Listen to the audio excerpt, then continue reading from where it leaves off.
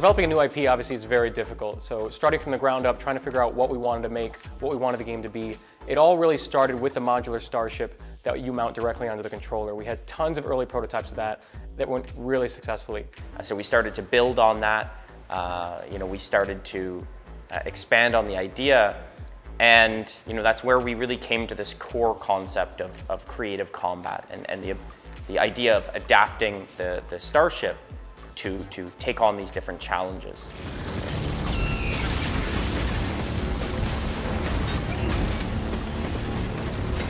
Starlink is an open world action adventure game uh, where players take control of a team called the Starlink Initiative. And they head off to a star system called Atlas, which is in the Pleiades, and fight to help save Atlas uh, from a threat called the Forgotten Legion. So it's a, it's a huge game. It's a huge uh, open world experience. You know, part of that open world experience, of course, is, you know, progressing as, as a pilot and building up your Starlink initiative. There was this real desire for a character to relate to and that emotional connection that is tough to have with that, you know, kind of spaceship. As cool as the ship is, and, and there's this fantasy of piloting it, you know, you still want to have that character that you can relate to, that you can get attached to. Um, that you can have that choice of the character that relates most to you. And so that was an, another major shift in our development, uh, was uh, introducing the pilots. They've never used Starlink before. Go show them what it can do. The starter pack comes with Mason Rana, who sort of comes into the leadership position of the group. You have Judge, who's an alien member of the team. Um, he can slow down time with his pilot ability, and his skill tree is focused purely on this idea of beating bosses and having great siege tactics that can take down buildings and structures really easily and really well. And each of these characters brings a, a huge change to the game, a huge difference. Uh, the first thing is that the narrative will actually adapt dynamically.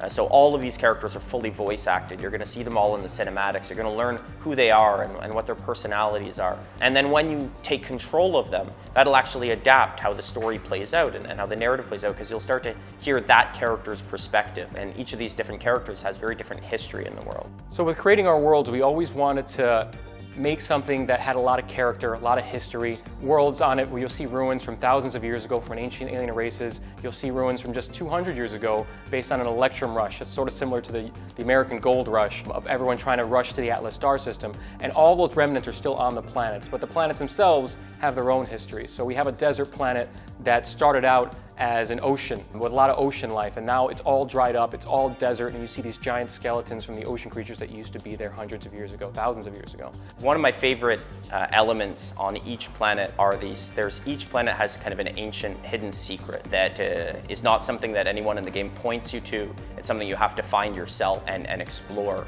And, and there's such a, a wonderful reward in, in, discovering these secrets and going. Uh, they're often protected by very, very elite enemies. You'll have to bring out your best combos and your best gear, uh, maybe pull in a co-op partner to get in there, uh, but you're rewarded with some pretty special treasure if you uh, manage to pull it off.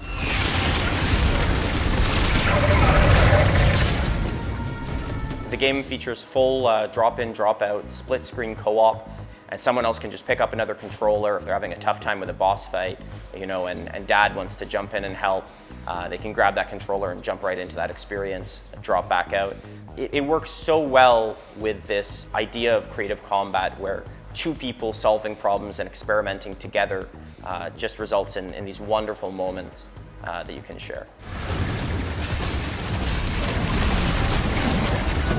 We always wanted to make something that was bigger um, for a lot of audiences. Uh, we wanted to build a game for everyone. We focused more on skill levels. So a child who isn't good at twin stick shooter is really identical to an adult who may be 30 that isn't good at twin stick shooter. So what can we build in the game that allows that player to still express themselves, still be creative with the ship configurations, be more based on exploration, more based on building different types of weapons that they can use that doesn't require a lot of accuracy. So again, it was less about age groups and more about skill level. There's mods that you can collect, you can mod mod your weapons, you can mod your ships. Each pilot has a unique skill tree which really pushes them into their, their kind of unique play style uh, and pattern.